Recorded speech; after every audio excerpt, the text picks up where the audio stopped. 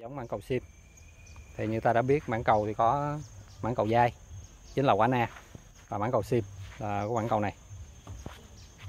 Và mãng cầu sim thì quả nó to hơn mãng cầu na và nó có vị chua hơn. Mặc dù vậy thì nhiều người cho là vị của nó đậm đà và nó hấp dẫn hơn. Như các bạn thấy, cái mãng cầu sim ở đây thì được nhân giống bằng phương pháp ghép.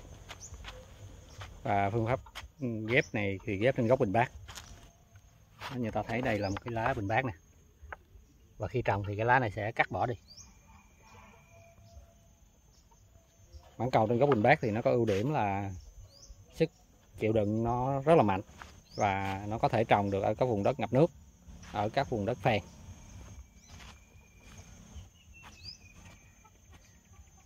Và chúng tôi có cung cấp tới số lượng lớn.